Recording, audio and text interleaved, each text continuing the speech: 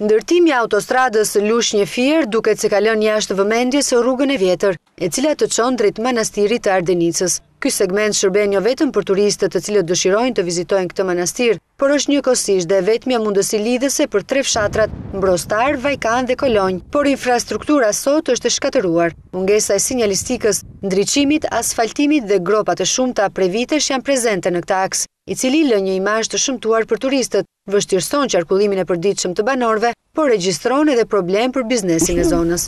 Ka ngelur rrugë e vjetër dhe është amortizuar në atë pikë që është bërë e pakalueshme. Kanë filluar hedhje dhe plera, bile se herë pas here bllokohet si rrugë, ku ne vetë shkojmë dhe e hapim nga plerat. Ku ka dhënë shqetësim jo vetëm për bizneset, por dhe nga turistat. të cilët duan të shkojnë në Manastirin e Ardenicës dhe për shkak të rrugës vijnë deri në një farë vendi dhe kthehen si shteti që kaloi, në qeveria që kaloi, si kjo vetëm japin premtime në fushata që do ta riparojmë dhe do ta bëjmë, pastaj